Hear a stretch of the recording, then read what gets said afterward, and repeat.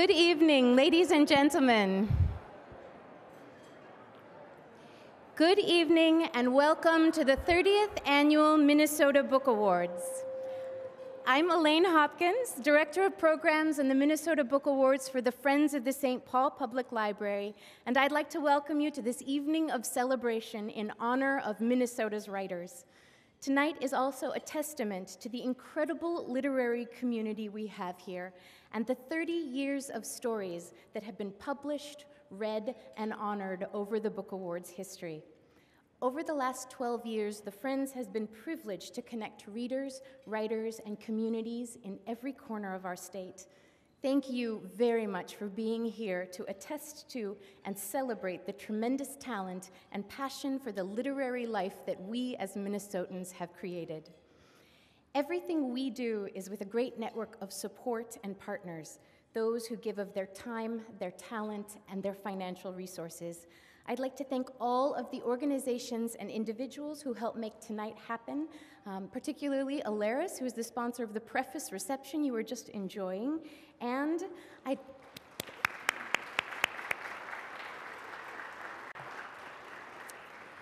And I would also especially like to thank our presenting sponsor, Education Minnesota, the state's educators union, representing 70,000 professionals.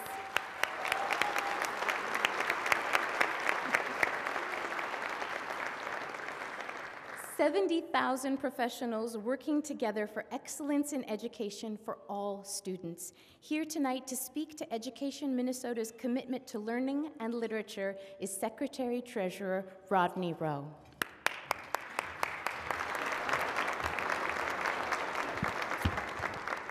Thank you, Elena, and good evening, everyone.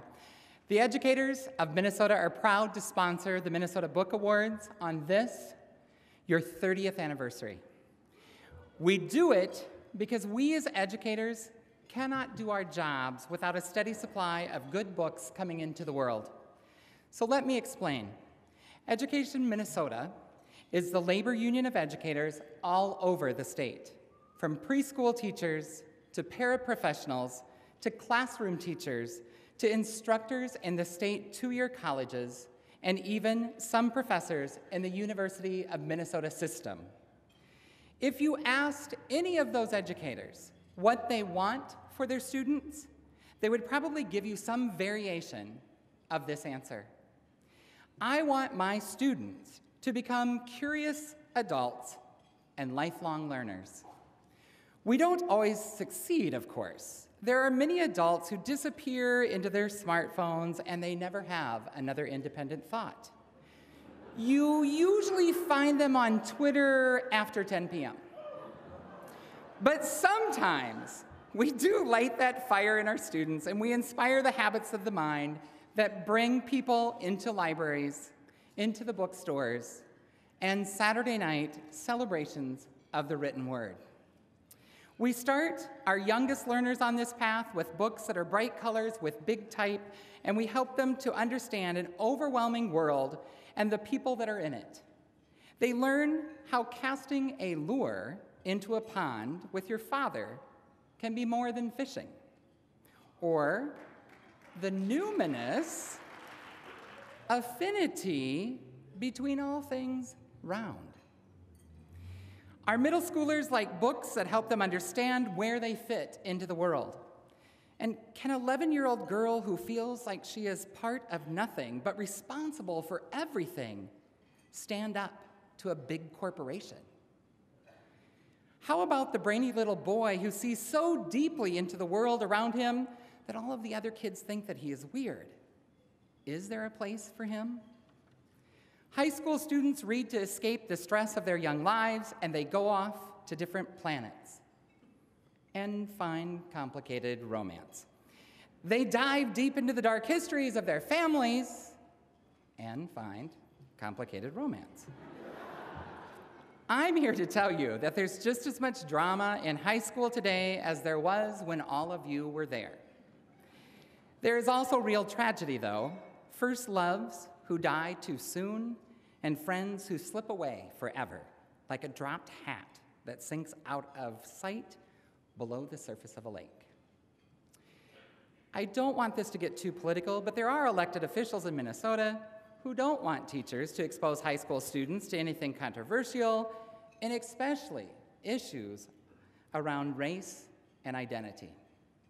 These leaders just don't understand that these topics never leave the minds of these students, regardless of what their teacher said.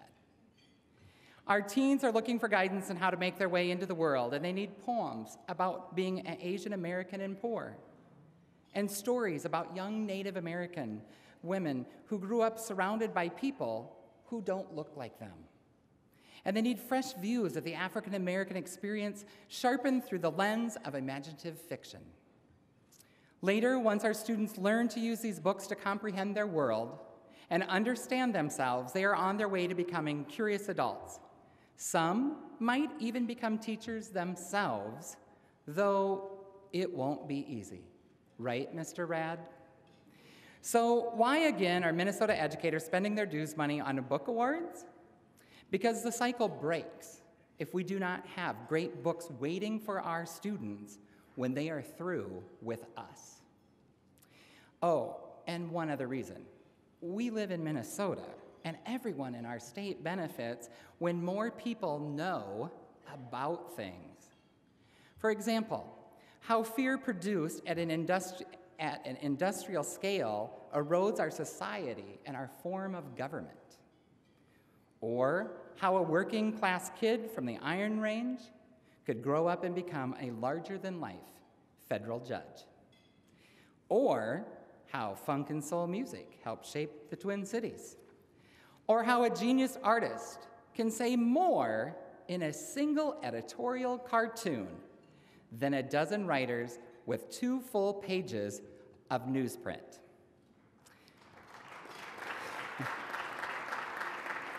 but very simply, everyone benefits when more people know about anything. And so, book by book and student by student, we can all make our state a little bit richer. And that is why Education Minnesota is so proud to sponsor the Minnesota Book Awards. So, from all of us, thank you, authors, for all that you do.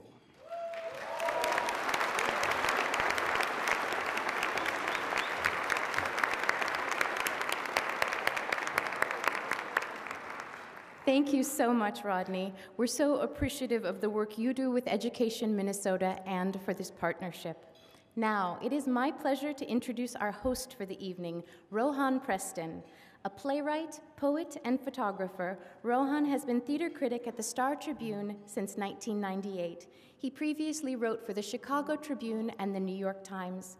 A graduate of Yale, he and his wife, the poet Angela Shannon, are parents to two daughters. Please join me in welcoming Rohan Preston.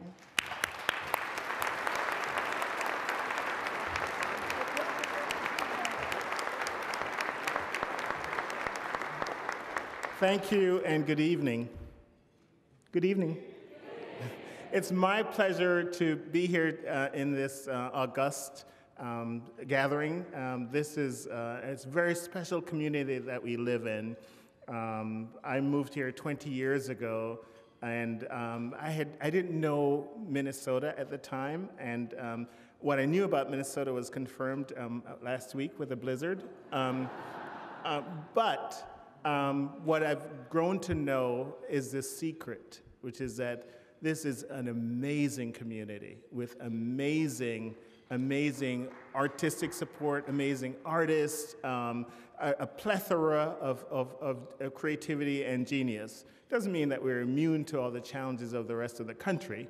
We have those too, but those are the things that motivate us and, and push us forward. So I'm delighted, I'm honored uh, to be here tonight and um, thank you very much um, for asking me to be your MC. So, um, We are here tonight to celebrate the accomplishments of your fellow Minnesotans and partners in the literary community. But before we get to tonight's nominees, let's pause to remember those we have lost. Over the last year, we have had to say goodbye to several beloved members of that community whose spirit and words live on, including two time Minnesota Book Award winner Cheri Register, author of Packing House Daughter and The Big Marsh. Patricia Johnson McDonald, publisher of Afton Press and a Minnesota Book Award winner. J. Otis Powell, writer, performer, performance artist, mentor and teacher, and musician. And Susan Stan, renowned children's book professor and advocate. They will be dearly missed. Now, switching moods, on to tonight's honorees.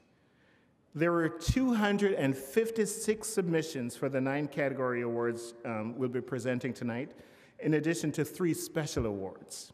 Previous Minnesota Book Award winners are here to present the honors, which include a hand blown glass award by St. Paul artist Dick Huss, and then the Willie August Project is backed. That is uh, their music, absolutely. Their music has been uh, written up in national jazz publications, and bandleader Ben Seams has customized music for each winning title from both original work and adaptation. So feel free to chat with the quartet after the awards to find out more about their recordings and performances. All right, let's get started. We begin this evening with an appropriate um, award um, for the state, the category of Minnesota nonfiction. The four writers and and books that comprise the finalists for this award help us plumb the depths of our state history and shared culture.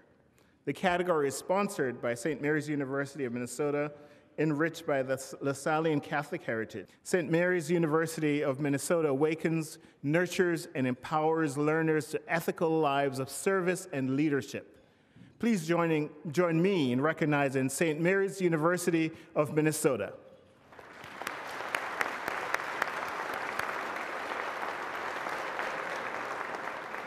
I also just want to say, I hope your hand clapping uh, skills are pra well practiced, because we're going to use a lot of that tonight. So, um, here to present the award and give a brief remembrance of last year's winner is Mary Lethert Wingerd, the 2011 Book Award and 2012 Hognander Minnesota History Award winner for North Country, The Making of Minnesota.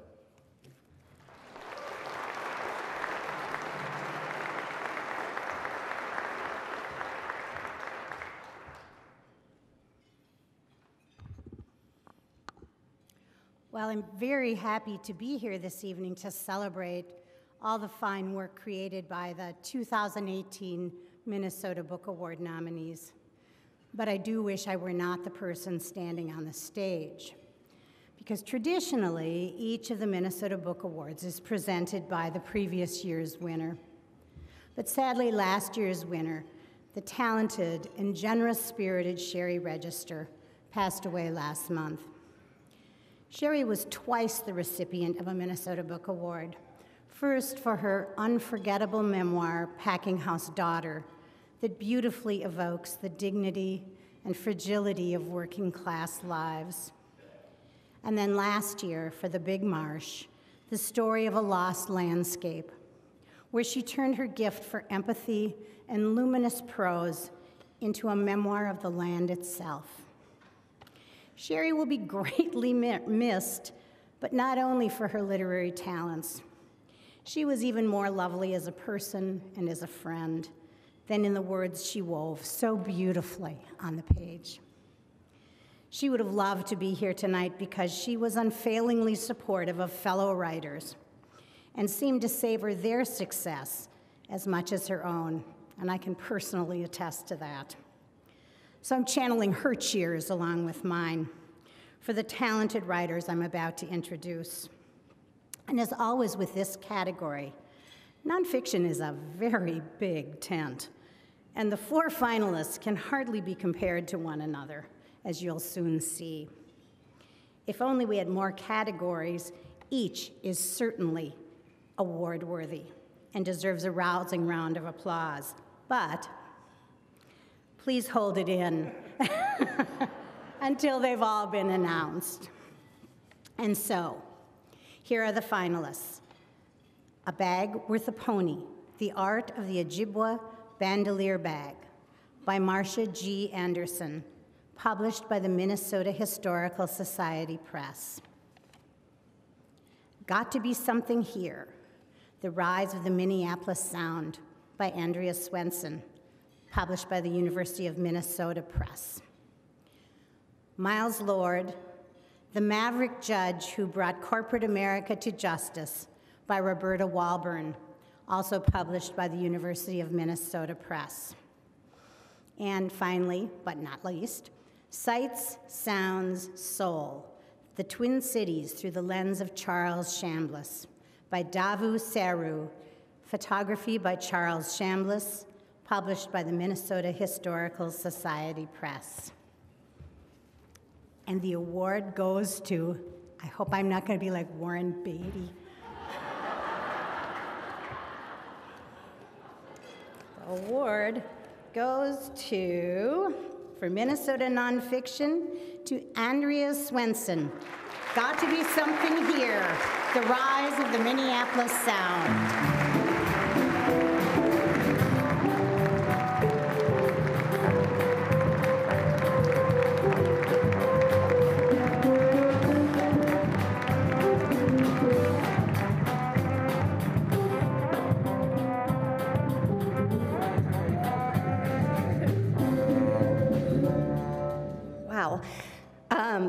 It is a really uh, complicated day to accept this award because it's the two year anniversary that we lost Prince. And um, a big part of what I hoped to do with this book was to really contextualize him and humanize him in, within the history of the place where he came from and a place that he was so proud of. Um, I would like to thank Prince uh, for encouraging me.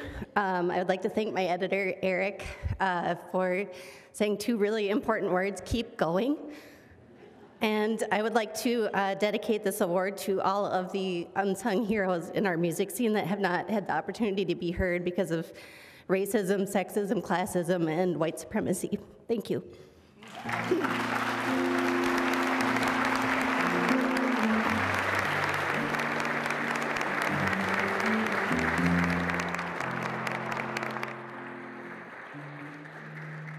That's beautiful, and it makes me wish actually that I'd worn purple tonight. So, um, you know, let's go crazy. Um, now we'll move to picture books with the award for children's literature sponsored by Books for Africa, the world's largest shipper of donated text and library books to the African continent. Based in St. Paul, BFA, BFA has been working to end the book drought in Africa for more than 25 years. Let's give them a warm round of applause.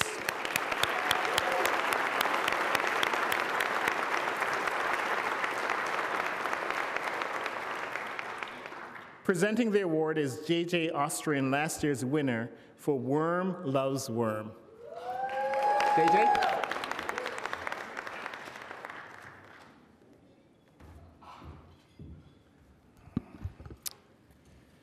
They say that one of the keys to a good picture book is brevity. The finalists for children's literature are A Different Pond by Bao Phi, illustrated by Thi Bui, published by Capstone Young Readers. Mighty Moby by Ed Young, text by Barbara DaCosta, published by Little Brown Books for Young Readers, Hatchet Book Group. Hachette. Excuse me. Round by Joyce Sidman, illustrated by Taeeun Yoo, published by Houghton Mifflin Harcourt. And The Shape of the World, a portrait of Frank Lloyd Wright by K. L. Going, illustrated by Lauren Stringer, published by Beach Lane Books, Simon & Schuster. And the award goes to Bao Phi.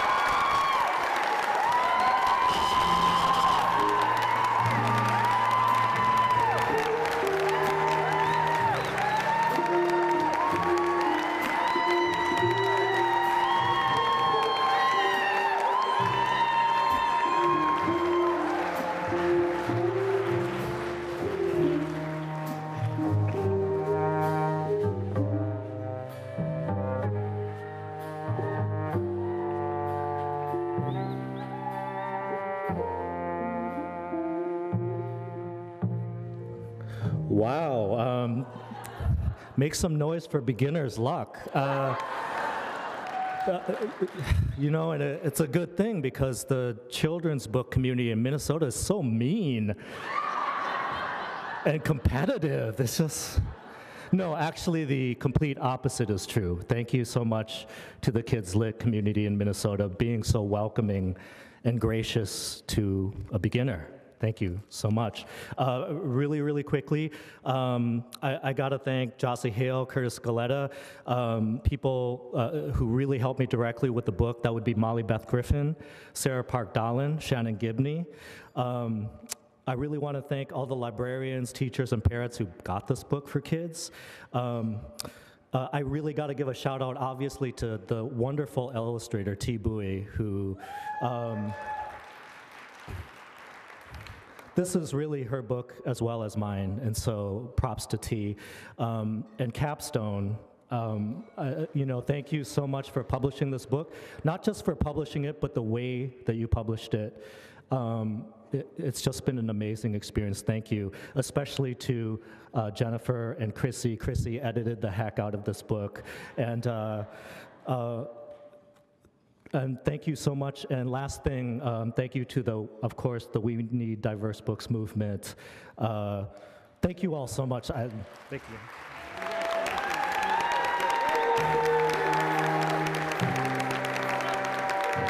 Congratulations.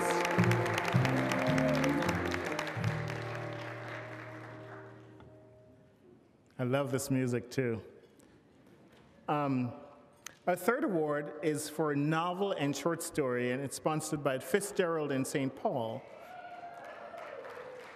They're in the house, an organization devoted to celebrating author F. Scott Fitzgerald as an artist and icon, especially here in his hometown of St. Paul.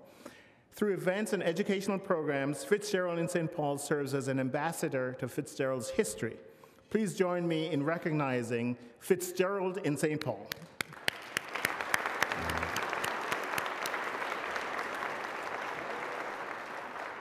So our four finalists for this uh, award range from debut authors to veteran award winners with a vast fictional array of styles and stories. Joining us to present the award is Minnesota Book Award winner and author of Vestments, John Reimringer. John?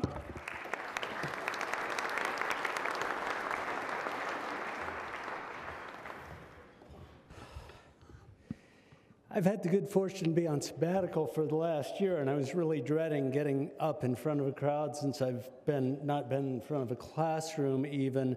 But J.J. Austrian removed all all pressure because his intro was so good. I was like, okay, I give up. Um, I'd like to thank Elaine for asking me to fill in for last year's winner, Peter Geye. It's always fun to stand in front of a big crowd and hand out a prize. Um, Thanks to the Friends of the St. Paul Public Library for hosting this marvelous event year after year, to tonight's finalists for enriching our lives and literature, and to the readers of Minnesota for completing that fictional dream. All of tonight's fiction finalists share some elements of the fantastical, but they also give us the enduring gift of literature. They invite us into the lives and inner spaces of others and in a world that today is often only screen deep, storytelling reminds us to slow down, to consider, and to be compassionate. And this year's finalists are Future Home of the Living God by Louise Erdrich, published by Harper Collins Publishers. Stories for a Lost Child by Carter Meland, published by Michigan State University Press. The Through by A. Rafael Johnson, published by Jaded Ibis Press. And What It Means When a Man Falls from the Sky by Leslie Nneka Arimah, published by Riverhead Books and Penguin Random House. So it's so exciting. And the award goes to Leslie Nneka Arimah.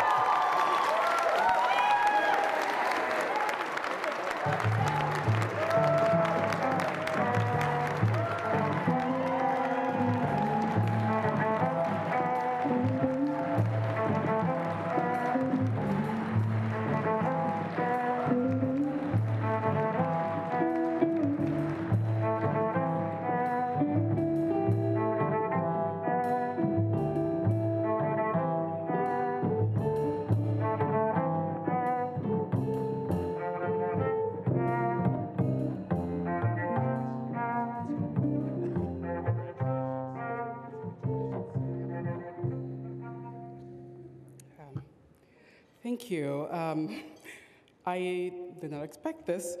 Um, I want to thank everyone who uh, not only told me that I could keep going, but those who challenged me and pushed me to be better and pushed back against the work that I had done. Um, you know, the people who make up your community are the wedding stone on which you sharpen your skills. And so I thank them so much for um, being exactly what I needed. Uh, when I moved to Minnesota about a decade ago, I came from Louisiana and before that, Nigeria. And um, I heard all about how cold it gets here. And so I bundled up with boots, sweater, scarf, and disembarked in Minneapolis in August. And and was extremely uncomfortable. Um, and then, you know, and then once winter rolled around, I was also unprepared for that because I did not realize that it was possible to get as cold as it did here. Um, I'm very happy that I stuck it out and that I, you know, stayed in Minnesota after graduation, um, graduating from my MFA program, to take advantage of all of the resources that Minnesota has to offer for artists and Minnesota is a state that cares for its artists and shows that with very practical things like monetary support. And so I very much appreciate it. Thank you so much.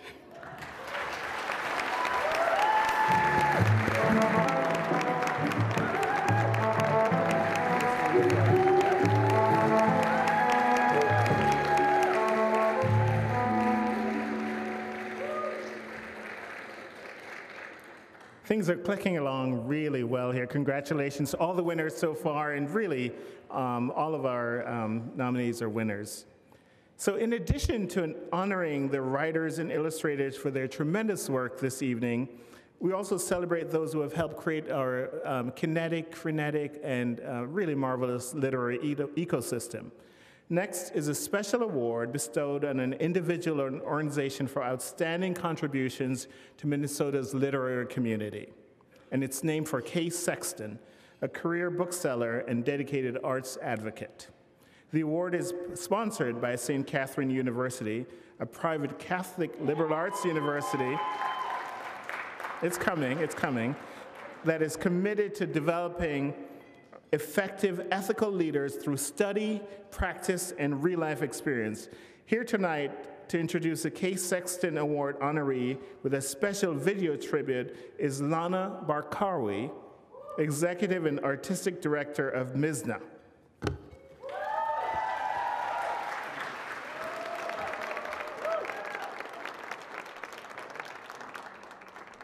Good evening, everybody. I could not be more pleased to join this tribute to Catherine Haddad. I'm going to say a few words, but first, please turn your attention to the screens for, the, for a brief look at her exceptional literary life.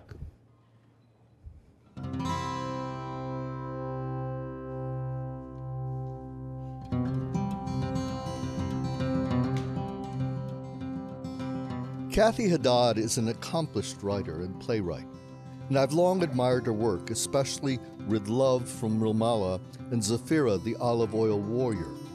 She founded Mizna, the country's first Arab American literary journal. And this journal has been absolutely instrumental to the burgeoning of Arab American literature both in Minnesota and nationally. Mizna was founded by Kathy Haddad in the late 90s. She and others she was in community with saw this profound gap in the literary landscape for Arab American letters. And so she gathered the smart Arab and Muslim folks she knew and launched the organization to publish the journal. Not only has the organization always had the mission to publish excellent writing, it was based on such a solid foundation of ideas that we still think a lot about as a culture 20 years later. Since the very first issue of the journal, the voices that we've published and championed over the years have been Arabs and Muslims who are gay and straight, who are religious and also estranged from religion, who represent the geographic diversity of the Middle East and North Africa, who are artists and business peoples and people from all walks of life. Kathy's contribution to the world of literature, of theater, of culture shaping is really unparalleled at a time when there was no space at all for Arab, Arab American literature or Arab American conversation. Kathy had the bold, audacious, uh, strong vision to create a Mizna. Because of the spaces that Kathy has created, it is absolutely clear how we define what a visionary means. Haddad has given of her own time and talents, and this gift has benefited not just the Arab American community or just the Minnesota literary community, but our community and nation as a whole.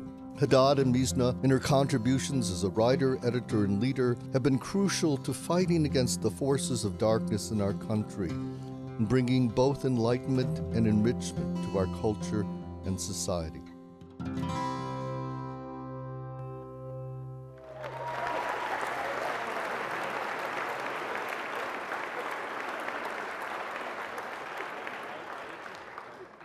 Catherine is truly a trailblazer.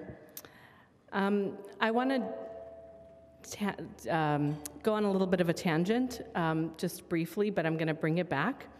Currently, a mutual friend of ours, um, the brilliant and audacious writer, uh, the Palestinian and Muslim American Randa Jarrar, is being lambasted for some uh, tweets that she wrote. Um, uh, about something that's being really overlooked in um, the eulogizing of Barbara Bush right now, which is um, her um, the racist and warmongering things that she's um, that she stood for.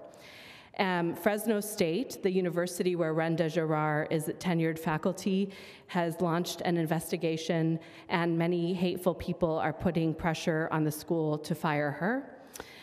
I bring this up partly um, to encourage you to look into this and to let Fresno State know that they must support Jarrar's First Amendment rights, but also because I really appreciated something that Randa Jarrar shared today, um, a quote by the writer Toni Morrison. Toni Morrison in 1981, um, in a keynote address at the American Writers Congress, said, we don't need any more writers as solitary heroes. We need a heroic writers' movement, assertive, militant, and pugnacious. Um, Kathy Haddad's um, singular vision and her fierce support of Arab American writers and writing um, has spawned such a movement uh, and it's national. Um, it's assertive, it's militant, and it's pugnacious, and I'm so proud to be part of it.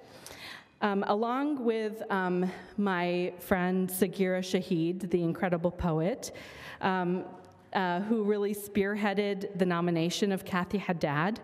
Um, I want to say that we're so grateful to what Kathy has done and what she continues to do. Um, on behalf of St. Catherine University, the Minnesota Book Awards, and the entire Minnesota book community, it is my honor to present the Kay Sexton Award to Catherine Haddad.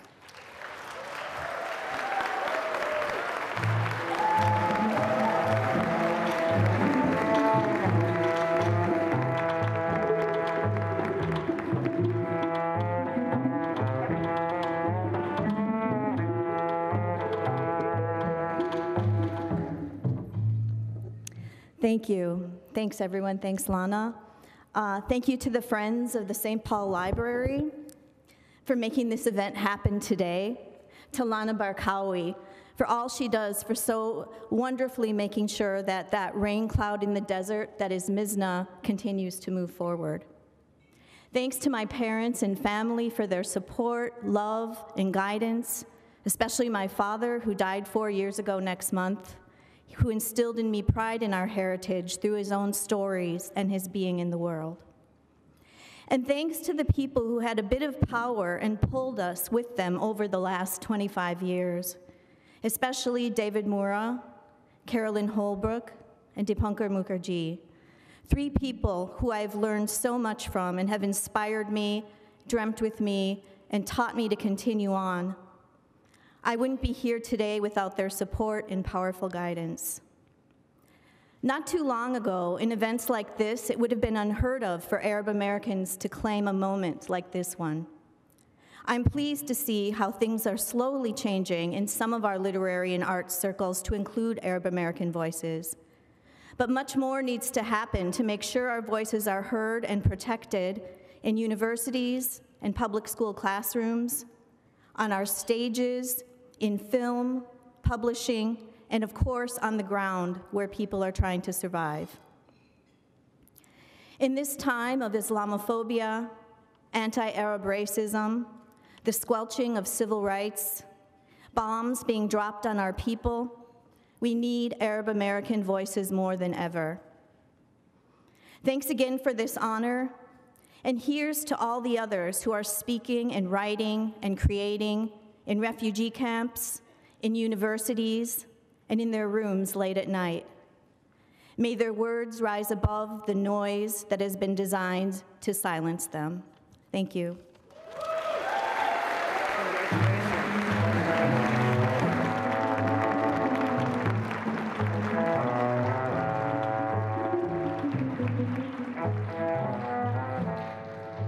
Congratulations. Now we have the Memoir and Creative Nonfiction Award category, sponsored by Faegre ba- Baker Daniels, a full service law firm providing business solutions to local, national, and international organizations. Let's recognize Faegre Baker Daniels.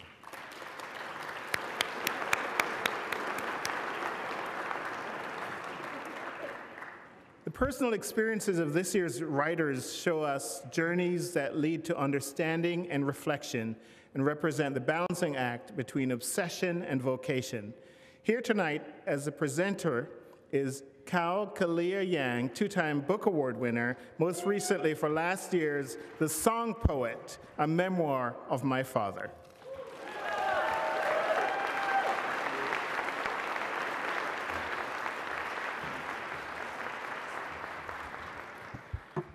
So I know you all can't see me, but it's a, uh, it's a pleasure to be here, and it's a pleasure to be here to lend my voice in commending these four authors for the work that they do because, because I love creative nonfiction. In a, for a Hmong girl who faced the nonfiction monsters of this world, I did not know where to turn or how to how to harness the heart of me onto the page. It was through the lens of creative nonfiction that I could free my imagination, find the swords of my ancestor, and, and make a place for myself in this world that I'm finding so much love in. And so it is my pleasure and a tremendous privilege to announce this year's finalists. Give a Girl a Knife by Amy Thielen, published by Clarkson Potter and Crown Publishing. It won't be easy, an exceedingly honest and slightly unprofessional love letter to teaching by Tom Rademacher, published by the University of Minnesota Press. Marcel's Letters of Font and the Search for One Man's Fate by Carolyn Porter, published by Skyhorse Publishing and Onigamiising, Seasons of Ojibwe Year by Linda LeGarde Grover, published by University of Minnesota Press.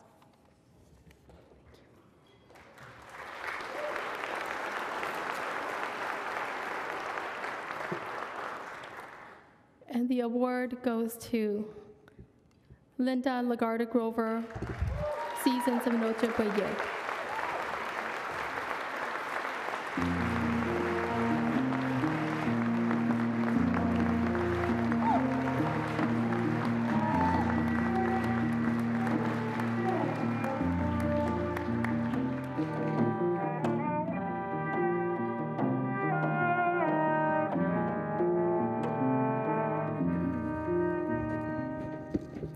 I would like to thank all the wonderful people at the University of Minnesota Press.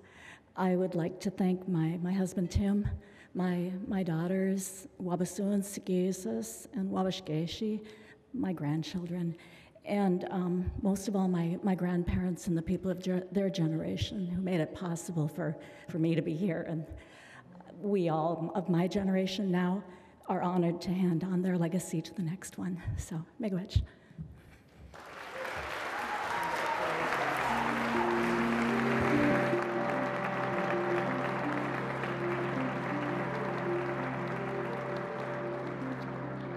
It's so exciting to see the richness of this, this community coming up here. It's just, it's just wonderful. Our next category is general nonfiction, a category sponsored by the College of St. Benedict and St. John's University, liberal arts colleges whose unique partnership provides students with a highly engaged learning experience, preparing them for leadership in a global society. Let's recognize the College of St. Benedict and St. John's University.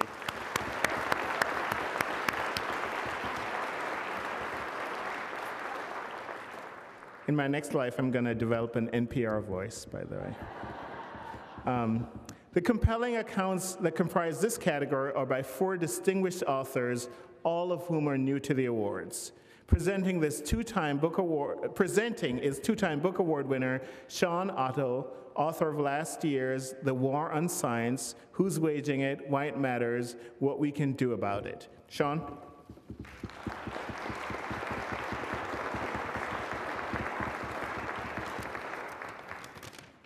You guys, it's such an honor to be presenting this category. Great stories are as important in nonfiction as they are in fiction. The work by this year's finalists in general nonfiction captures our hearts and minds with truly great stories. From a moving photo documentary of ranch life to laugh out loud editorial cartoons, from living through World War I to navigating life in modern democracy. Each of these amazing books draws us in with stories of a young Minnesotan abroad during wartime, of a disappearing way of life in the American West, of a step by step abdication of democracy as fear overcomes the ability to self govern, and of the ridiculous ironies and sometimes deeply touching moments in our political process. Stories of the world around us. This year's finalists are um, Alice in France, The World War I Letters of Alice M. O'Brien by Nancy O'Brien Wagner, published by Minnesota Historical Society Press. Yes. The first and only book of Sack, 36 Years of Cartoons for the Star Tribune by Steve Sack, published by Star Tribune Media Company. Fortress America, how We Embraced Fear and Abandoned Democracy by Elaine Tyler May, published by Basic Books, an imprint of Hachette Book Group.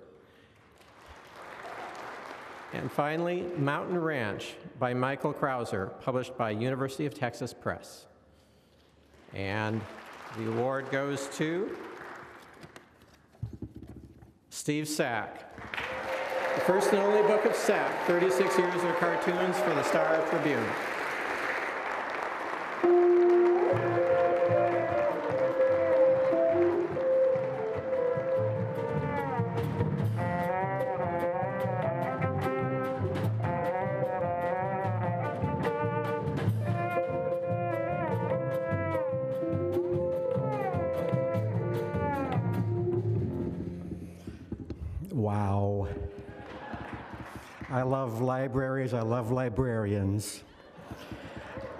I, uh, I learned cartooning from libraries. Every week when I was 13 years old, I would go to our local West St. Paul library to look at the magazines, the cartoons in the magazines, the Saturday Evening Post, the New Yorker, uh, Look magazine.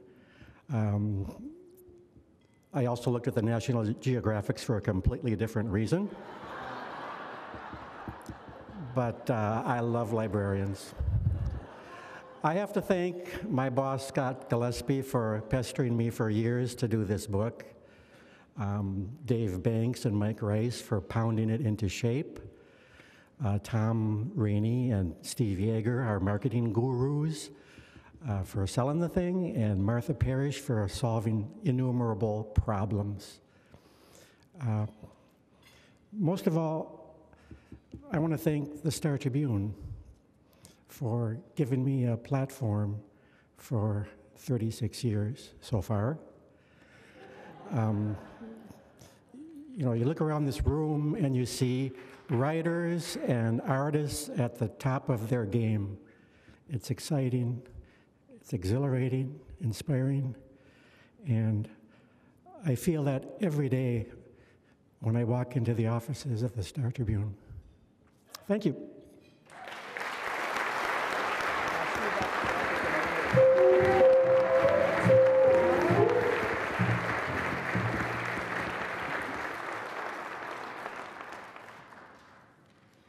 I once told, uh, told him that, um, actually, it wasn't once, it was just um, before the event started this evening. But I, once, I, t- I, told, uh, I, I, told Steve, I said, You're my favorite um, editorial or cartoonist. And um, he says, Is there another?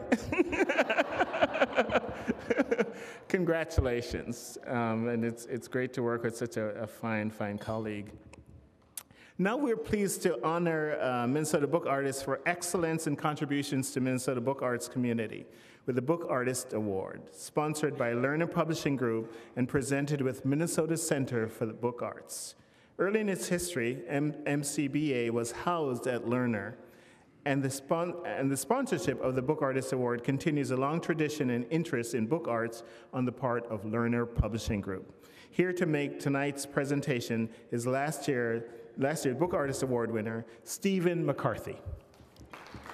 Welcome.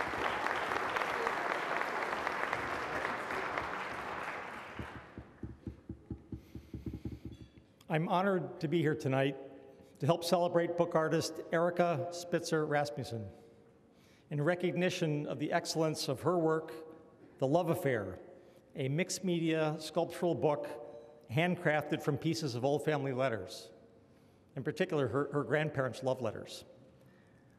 The work was praised by the review panel as, quote, playful, clever, and referential in its reference to the art of love letters, an avant garde play on the notion of a book. And yet, the narrative, the history, and the intimacy are mysteriously palpable. On behalf of Lerner Publishing Group, the Minnesota Book Awards, and the Minnesota Center for Book Arts, I present the 2018 Book Artist Award to Erica Spitzer Rasmussen.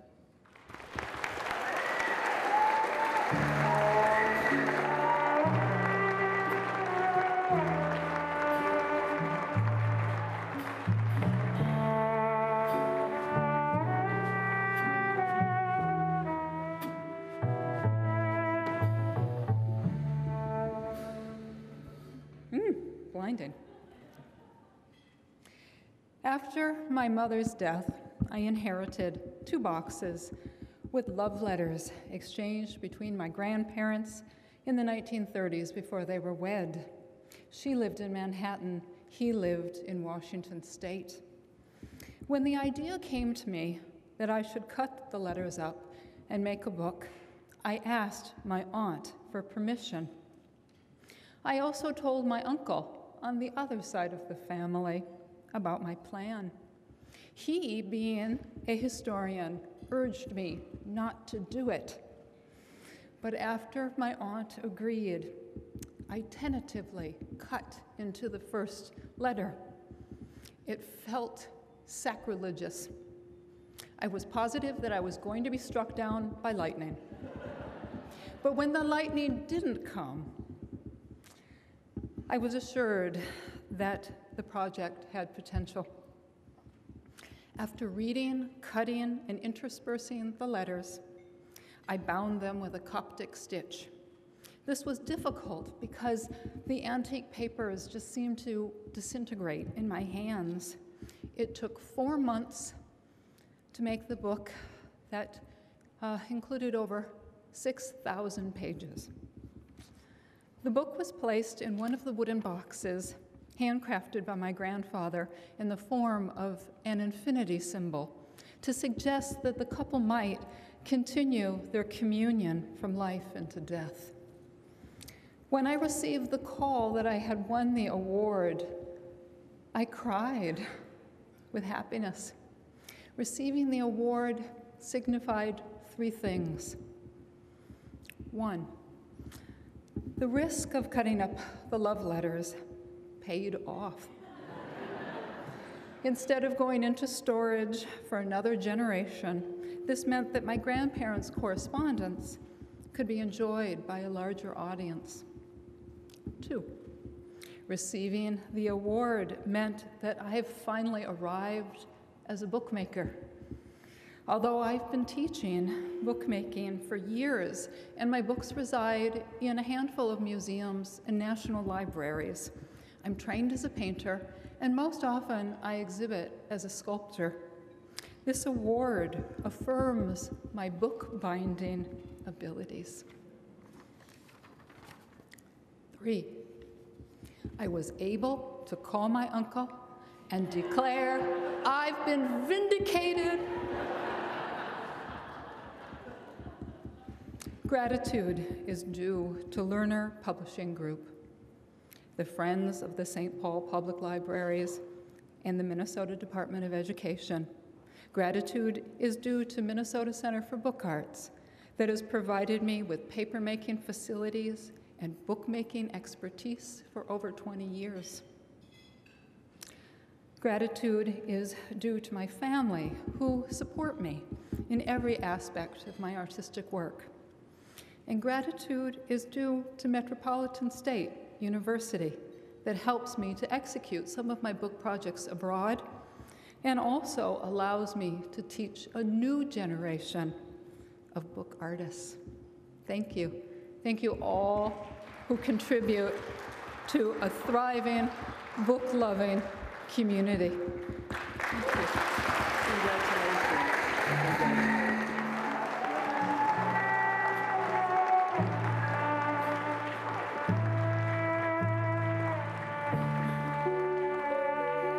Congratulations, Erica. If you haven't already seen The Love Affair during the reception, I urge you to stop by uh, after the ceremony downstairs and take a look for yourself. As, as for the first time, we have the Minnesota Book Awards winner's piece available to, for view. So thank you and congratulations. Also want to do a quick shout out to those who are sitting in, in uh, the court section out there.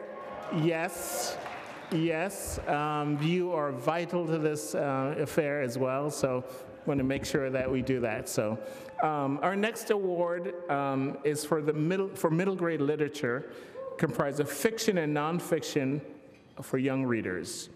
And it's with an acclaimed group of authors as finalists. Let's recognize our sponsor, Education Minnesota.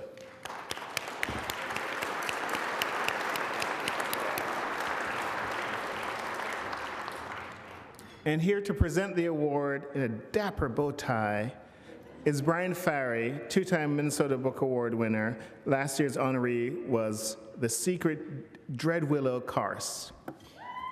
Brian.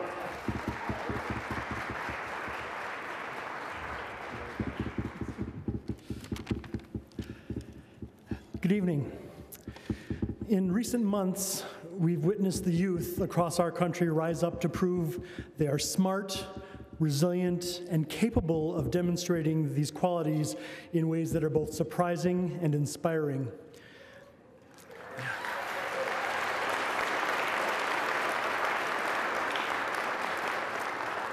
As someone who has written numerous books for ages eight and up, I can testify to the fact that it is an extreme privilege to write for this audience. A wealth of today's finest voices in middle grade literature call Minnesota home, and I'm delighted to be here tonight to stand side by side with four of my writing colleagues whose work not only challenges readers, but also illuminates who they really are. Here are the finalists. A Crack in the Sea by H.M. Bouwman, published by G.P. Putnam Sons, Penguin Random House. The End of the Wild by Nicole Helget, published by Little Brown and Company, Hachette Book Group. Isaac the Alchemist, Secrets of Isaac Newton, revealed by Mary Losure, published by Candlewick Press. And Rooting for Rafael Rosales by Kurtis Scaletta, published by Albert Whitman and Company. And the award goes to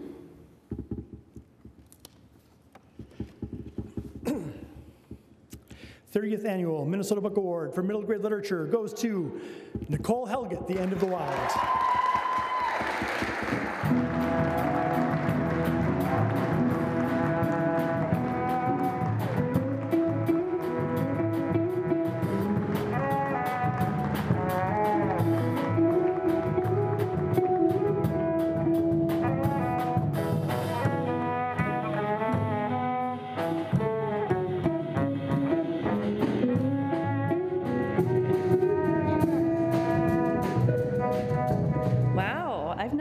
Up here before.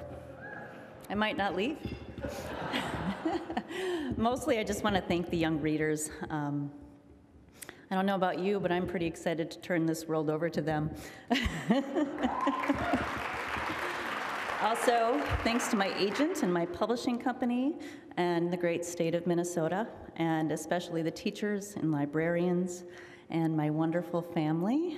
Um, my love, Eric is here somewhere. I love you. Um, thank you.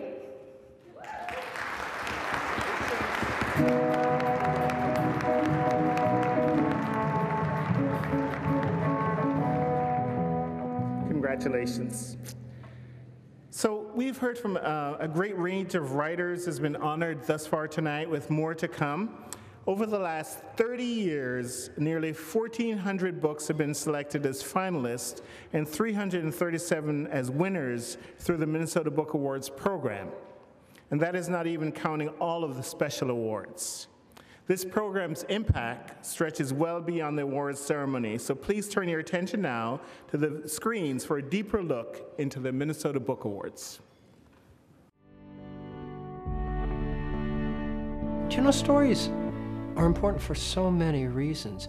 We tend to think of stories just as entertainment, but stories do so much more. Stories enlighten us and they encourage us and they inspire us. And as communities, stories bring us together around common uh, issues, common themes, common values. Um, and you can talk to people in terms of polemics and essays and, and speechify. But you'll never reach people, you'll never get to their hearts in the same way you can with a story. One of the things I love about the Minnesota Book Award is the fact that they take Book Award winners and nominees and they tour them. The Friends of the Library and the Minnesota Book Award program take literature, take the writers, the artists out there is so important. Viking Library System is in western Minnesota with 11 independent libraries. And we've had Minnesota Book Award winners and finalists in communities as small as 500 and as large as 13,000. We've got this reader and we've got this book, and there's some sort of connection with the author. And so when the reader can connect with the author as well, there's so much more that, that makes that experience richer. We support our arts and our artists to an amazing extent. We attract terrific talent here to Minnesota. People come just to be here because it's an environment that fosters creativity on every level and in every medium. And the writing community certainly has benefited from that. I never thought I wanted to be a writer. Growing up, I always thought that I should become a doctor. Everybody said you needed doctors and lawyers to survive in America. There was a bookmobile that would visit the McDonough Housing Project, and one day, after months and months of visiting, I asked her in a whisper, Are there books about people like me? And she looked to the shelves and she found a book about uh, the Chinese, the Japanese, one about the Vietnamese, and then she looked at me and she said, I'm sorry, I cannot find a book about the Hmong, about your people. And I remember saying, one day a little girl is going to come right in here and she's going to find a book about the people who love her on these shelves. Maybe that was the first articulation of my inspiration and my motivation for entering into writing. But even after that moment, I thought I should become what my people needed. That I realized that maybe I was going to be that writer. There are not a lot of writers who look like me or who sound like me in the world that we live in.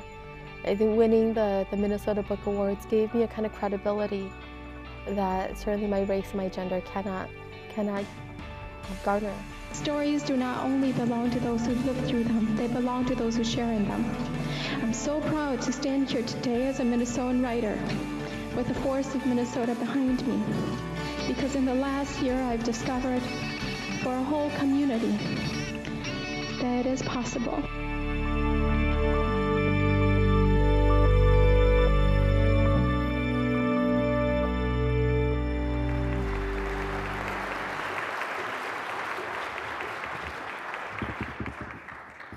Hi, my name is Beth Burns, and I am the president of the Friends of the St. Paul Public Library.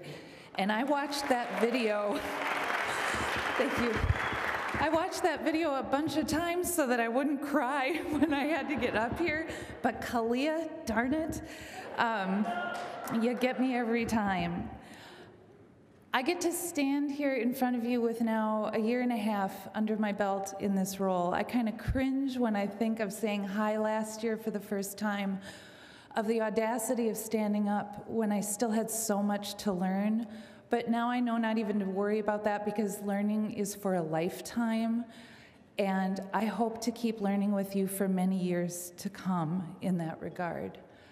So I was thinking about writing and and what it is to celebrate this literary community and how I wanted to um, come to you this evening. And one of the things I um, was always told is writing is a very solitary act.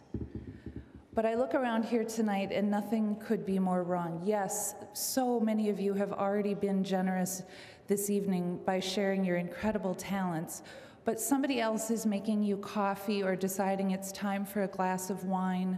Somebody else is picking up a, something, a task, a chore, so that maybe you can get those 600 more words that are going to make the day feel complete and get you ready for the next thing. And then you've got publishers and editors and friends who will meet you and say, keep going. And this means that writing can't possibly be a solitary act. How could it be solitary if I am blinded looking out here this evening, but see 900 people in two rooms? Hi. Um, I can see them. it's really funny. Hi, uh, who are all here tonight to celebrate 30 years that we've been doing this, 30 years that you have been doing this. And so it's a privilege. And it doesn't happen in a vacuum. And I thank you for every solitary, super frustrating, and wonderful breakthrough moment that all of you who are the artists and the authors and the creators have had over the years, finalists, winners alike. But I also thank the whole community that has supported you in the, creati- the creation of your work and this whole community that gathers year after year to acknowledge we really do live in a super special place. Um, those of us who live in St. Paul live in a super, super special place, but the rest of you who are also Minnesotans live in a very special place too. And our ecosystem that meets you in McDonough with a bookmobile, invites you into the library, gets you that library card, which is a passport for learning and reading and doing. The colleges and universities and schools that train us and teach us and encourage us, the publishers, this rich, rich publishing community that recognizes this talent and brings it forward into the universe. All of us are here tonight celebrating 30 years, but a whole history even behind that of wonderful literary arts in Minnesota. So we should be proud of what we're doing. And in these serious times, because there's definitely a vibe right now, and we can't pretend that's not there, but we need the Steve Sacks and we need the serious conversations, and we need to remember that it is the two year anniversary of Prince's death, and that all of us makes. All of that makes us who we are and helps us understand the world in which we live. And so, again, for the second year in a row, I will not apologize when I ask you to please consider are you able to financially support this? Because this does not happen in a vacuum. And would you be willing this evening to please do the thing that I completely forgot to do last year when I asked for your support, which was actually tell you how to do it? Um, this year they gave me a sheet of paper. But I am sincerely asking you if it is if it is possible for you to not only contribute your time, your talent, your enthusiasm to this writing community, but to make an additional financial contribution that will help us at the Friends of the St. Paul Public Library continue to produce the 31st, the 32nd, and hopefully the 100th anniversary of the Book Awards.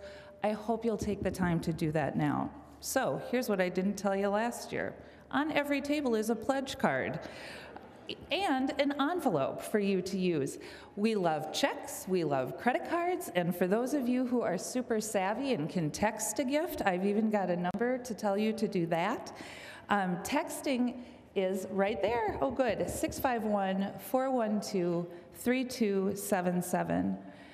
And we're going to take a couple minutes to let you think about doing that. This is what we're doing now, so feel free to reach out for those envelopes um, and, and pledge cards, um, and we'll be grateful for that. And please know, at the Friends, we are going to continue to be really good stewards of the resources that you entrust to us.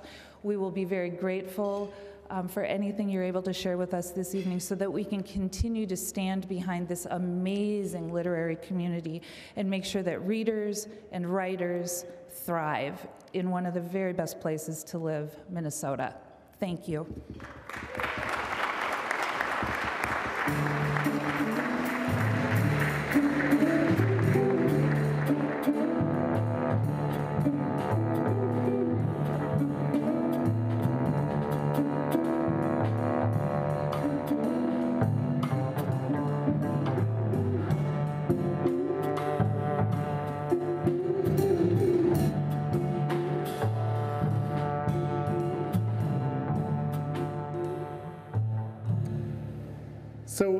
after you've made um, your pledge, your donation, uh, you can leave your envelope on the table. It will be collected there. Um, and if it's uh, it's it's um, if it's online through texting or, or whatever, that's um, that's pretty easy as well. Um, I just want to give you a, a, little thing from my bailiwick about this culture. Uh, I interviewed August Wilson a number of times, uh, the great playwright, a number of times, who, who moved here from Pittsburgh um, to find himself and his voice. Uh, he came here as a poet um, and uh, left here as a two-time Pulitzer Prize-winning playwright and now um, one of the foundational um, playwrights of, of, of, the American theater. Um, and he said, um, he said to me, I, I came to Minnesota um, I didn't know it at the time, but I came here to hear the voices of my childhood, of my ancestry, of all of that. I mean, this award ceremony today, uh, the diversity of winners uh, the, and the broadness of the talent is a testament um, to the kind of um, uh, growth and hospitality and, um, and um, uh, frenetic uh, creativity that's happening here in Minnesota at this moment. It's a very, very special moment, and I, as someone who writes about this um, community in one, one particular area, I'm just thrilled and honored to be here, um, and, and really honored as well for all, all the winners. I mean, the stories, um, uh, and, and, and, Beth uh, eloquently spoke about the stories are, are what um, unite us, um, what uh, lead us into knowledge and, and self-discovery, and, um, and, and we have all of that here. So, so, all right. Thank you, Beth. So the final special honor of this evening is a biennial award for the full-length book of scholarship on the topic of Minnesota history. It's funded by the Hognander Family Foundation. The inspiration of Orville Joe Hognander this award stems from his family's belief in the importance of studying and preserving history and in their long-standing relationship with the Minnesota Historical Society. Please join me in recognizing Joe Hognander and his fiancée Nadia Christensen for their efforts to pay tribute to scholarly works on Minnesota history. Here to present the award to the 2018 honoree is William Green, winner of the 2016 Hognander Award for Degrees of Freedom, The Origin of Civil Rights in Minnesota, 1865 to 1912. Mr. Green.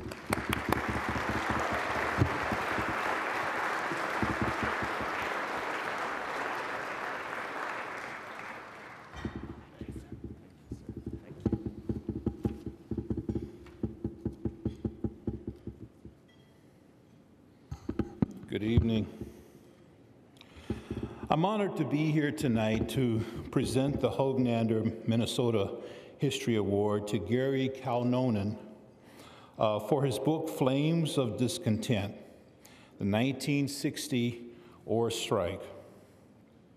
From a field of, of immensely worthy books published in, 19, in, in two, 2016 to 2017, his book was reviewed and chosen by history professor and writer Douglas Hurt, who noted this is an important study of a major labor dispute in Minnesota, and as such, a significant contribution for the state's history. But it is more than that. Kaunonen's uh, study of the Finnish miners in, in Mesabi and Vermilion region uh, of the Iron Range, and their relationship to the industrial workers of the world uh, makes a major contribution to the labor history of the United States. So, on behalf of the Minnesota Book Awards and the Hognander Family Foundation, I present the 2018 Hognander Minnesota History Award to Gary Kaunonen.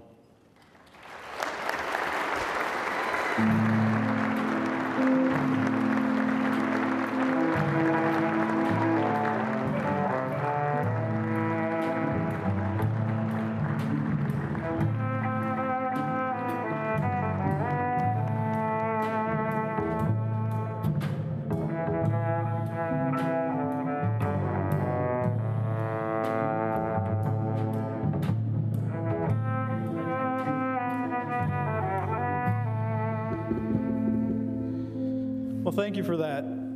Uh, I'm going to be as ranger as I can. I'm going to dig in. That's a pun. And uh, go after it here. I'd like to first thank my, uh, my family, my wife Brooke, my parents Art and Edie, who were original Iron Rangers, and the person who thinks she is my manager, my daughter Sophie.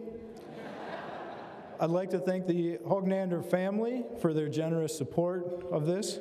I'd like to thank the Friends of the St. Paul Library uh, for putting this on, the Minnesota Historical Society, the University of Minnesota Press, and probably damn near the best editor uh, in Minnesota, Kristian Tvedten. And then uh, lastly, I would like to, to thank uh, the folks who lived the strike. Uh, I had the honor and the privilege of representing their story, and it's a wonderful and extraordinary story that revolves mainly around immigrants. And uh, with the climate that we have today and the discussions we have about immigrants, uh, it's, we should note that the faces of those immigrants within 100 years have changed, but their plight hasn't necessarily changed. Uh, so I'd like to thank them for their contributions to Minnesota and U.S. labor. Thank you.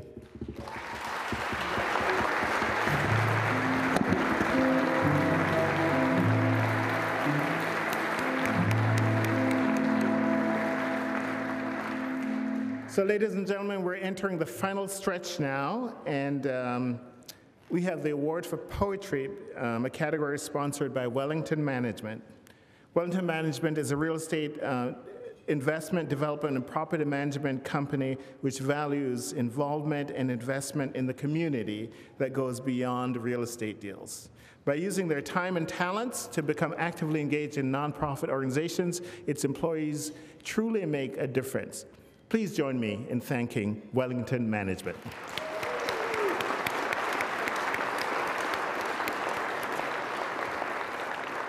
And Sun Yung Shin, she's coming. Last year's winner for Unbearable Splendor will present this year's award.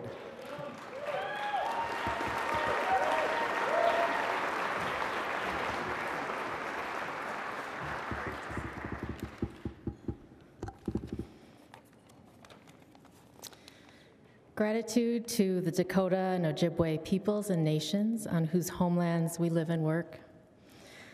American poet Audre Lorde, in a 1991 interview, said, quote, June Jordan once said something which is just wonderful. I'm paraphrasing her that her function as a poet was to make revolution irresistible.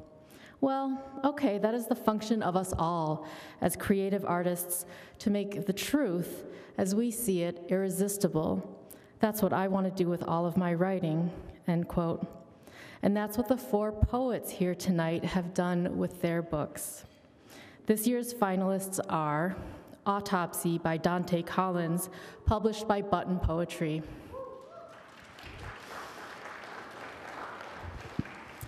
Curator of Ephemera at the New Museum for Archaic Media by Heid E. Erdrich. Published by Michigan State University Press. Solve for Desire by Caitlin Bailey, published by Milkweed Editions. And Thousand Star Hotel by Bao Phi, published by Coffee House Press.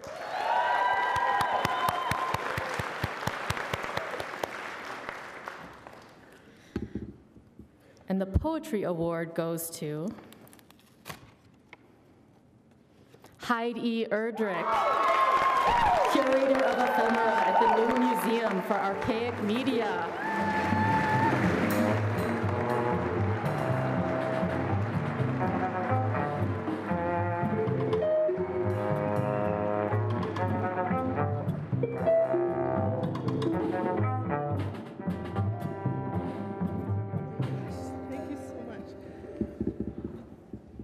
You know, when everybody else comes up here and said they didn't prepare, they were lying, but I am not.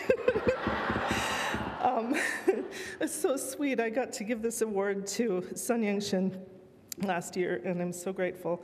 And I'm really grateful to the other people and all the other poets who um, accomplished making a book of poems, which is an incredibly remarkable thing in this day and age. Um, but Donte and Caitlin and Bao, I am really honored to be in your company. I have to thank people, and I can't even think of who, but my family is here, so I'll start with them and my editors, and my editors who are present. I really appreciate you um, for all the books that I write. Uh, there's so many great poetry opportunities in Minnesota, and it's why I live here, even though I was born here. I'm incredibly grateful. but one of them that not everybody gets is having librarians on your side, and I've called them my holy people, and I mean that. Thank you so much, and thank you, Wellington Property Management. Amazing. Thank you.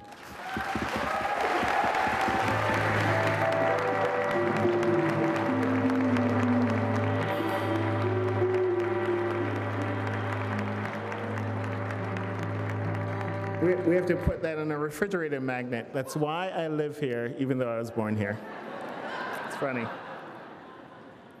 The penultimate award is for genre fiction. I love that word, by the way, penultimate.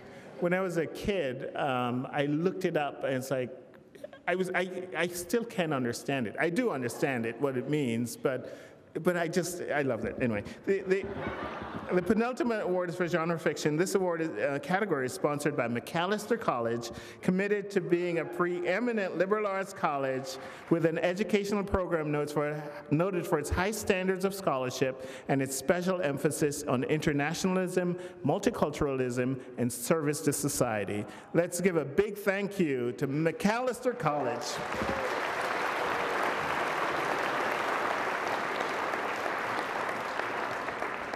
In this category, we have returning finalists and award winners to recognize, including co-author um, P.J. Lambrecht, who passed away in the late 2016 and is still dearly missed.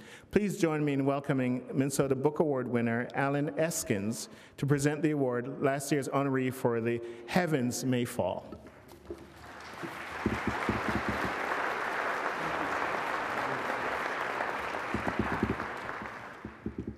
It is my pleasure and honor to be here tonight to present the Minnesota Book Award for genre fiction. John Gardner defines verisimilitude as that ability to write with such detail and authenticity that the reader cannot help but believe that the story they are reading is true. That kind of moment by moment authenticity is the lifeblood of every fiction writer, and I believe that is especially true for genre fiction. Our four finalists tonight have certainly hit the mark when it comes to verisimilitude, transporting their readers to the inner workings of the dark net and an epic battle of good versus evil, to the gothic halls of a tuberculosis sanitarium turned artist retreat, where the sins of the past do not rest, to the southern border of the United States and a fight for dignity and justice, and to the hunt for a serial killer that takes us from the skyline of Twin, Twin Cities to the cornfields of Cottonwood County. The finalists tonight for genre fiction are The Dark Net by Benjamin Percy, published by Houghton, Mifflin, Harcourt. The End of Temperance Dare by Wendy Webb, published by Lake Union Publishing. Nothing Stays Buried by P.J. Tracy, published by G.P. Putnam and Sons, Penguin Random House. And Sulphur Springs by William Kent Krueger, published by Atria Books, Simon Schuster. And the award for genre fiction goes to Wendy Webb, The End of Temperance Dare.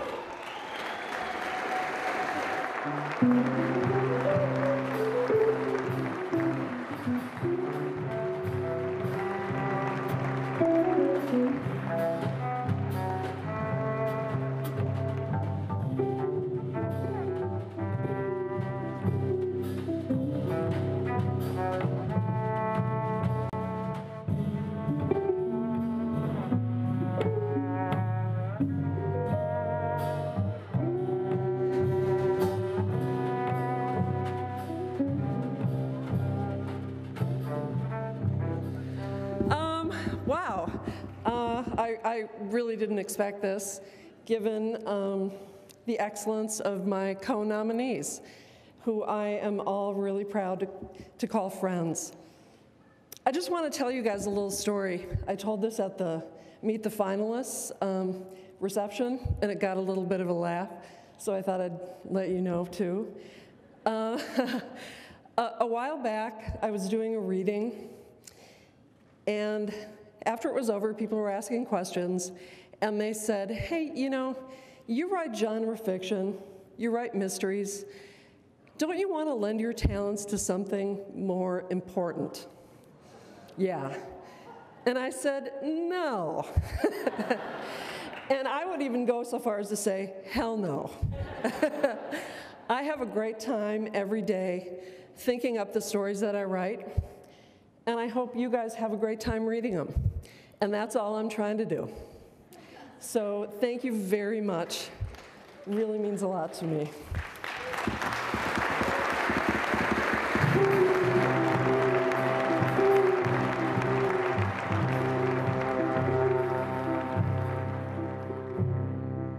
It's here.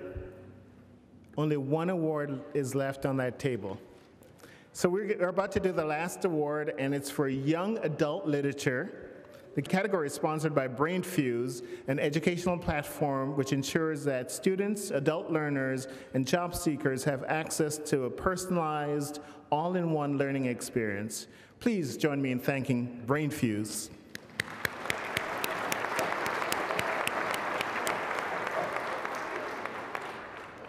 Here to present the award is Geoff Herbach, author of several books for young readers and a book award winner for Nothing Special. Geoff?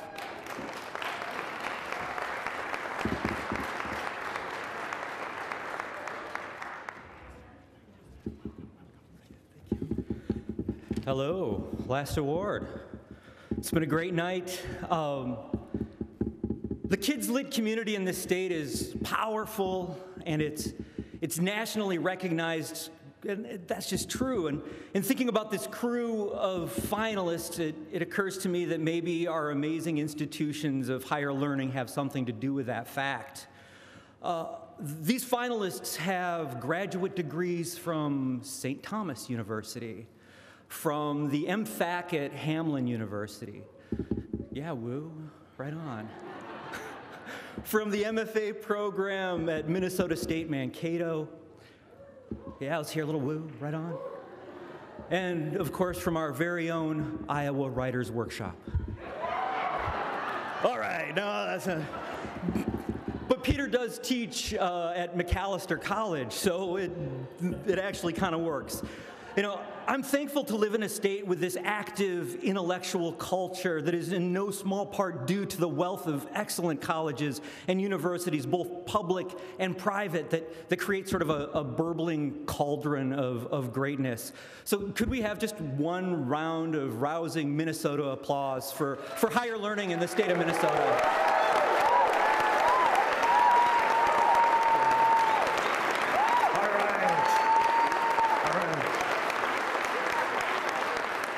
Thank you. The finalists for young adult literature are The Exo Project by Andrew DeYoung, published by Boyd's Mill Press, highlights. The Last Thing You Said by Sara Biren, published by Amulet Books, Abrams. Thief's Cunning by Sarah Ahiers, published by Harper Teen, HarperCollins Publishers. And Things I'm Seeing Without You by Peter Bognanni, published by Dial Books, Penguin Random House. And the final award of the evening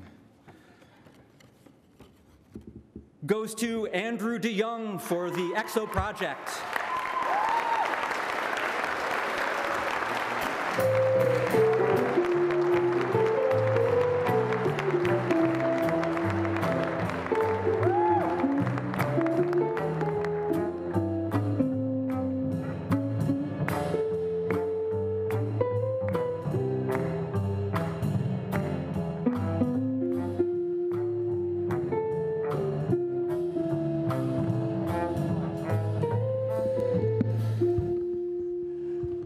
Surprising and very bright. Um, I, it's hard to go last. Um, I'm going to start by thanking the most important person, and that's my wife, um, who is uh, Sarah. You're both my uh, biggest fan and my harshest critic, and um, that's like a really important uh, combination. I don't know how you pull it off.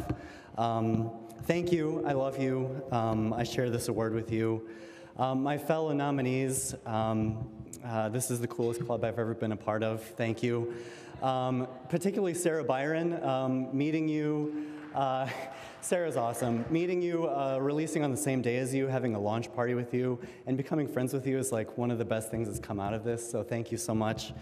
Um, and then just uh, to uh, the awards, the judges, thank you for taking a risk on this on this weird little book. Um, the writing life is act- it can actually feel fairly isolated even after you've been published. It's hard to it's, uh, evidence that you're making an impact is, uh, is hard to come by. So thank you for reminding me that, uh, that this really does matter and that uh, we are making an impact. Thank you. Have a good night.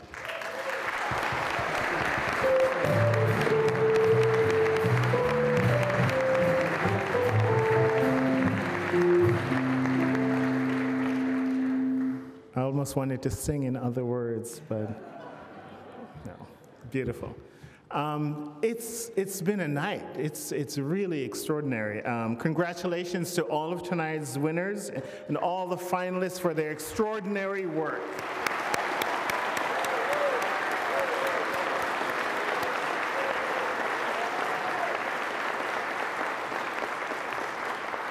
Thank you again also to our, to our, our presenting sponsor, Education Minnesota. Give it up. And I have to say, um, earlier um, I, I, stopped um, the applause for um, University of St. Catherine because I thought it was coming up and it wasn't. So you guys were going, thank you, University of St. Catherine. We'd like to extend a huge thank you to our local independent bookseller, Red Balloon Bookshop, which is graciously, that's right, They've graciously agreed uh, to donate 25% of sales tonight to support the book awards. Let me also recognize uh, Minnesota Book Awards Director Elaine Hopkins.